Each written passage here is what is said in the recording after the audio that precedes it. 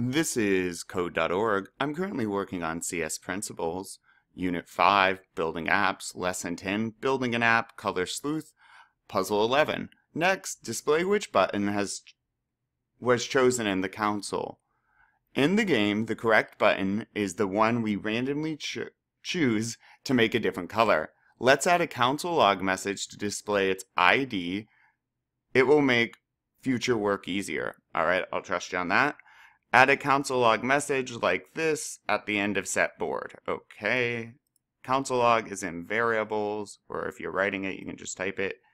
Way down here, they asked for it, and then I will write this exactly like they did. I want to put a space here because otherwise when it prints out the random random button ID, it will have a space so we can read it easier. Overall, the board function.